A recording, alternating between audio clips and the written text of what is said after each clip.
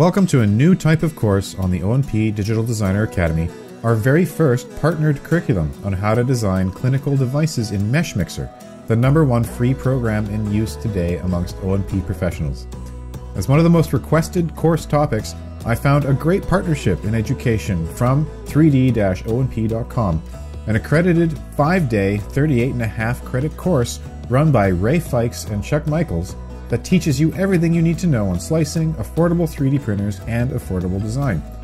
We aligned quickly on common issues around design, and this course is an offering that brings huge clinical components from their in person course that I'm excited to bring into the Academy, as many of my courses are design centric and feature centric without getting into the weeds of clinical applications.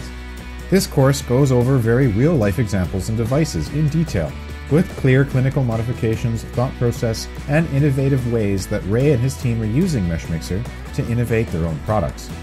Dive into the basics of MeshMixer and then follow along with how to make transfemoral and transtibial covers, modifications, TLSO modifications, knee and orthotic devices, foot orthotic devices, and AFOs. Each video comes with sample scan files, a mesh mixer template with virtual jigs and measurement aids, and a checklist so that you can navigate each process the same way every time, along with Ray as he teaches the course.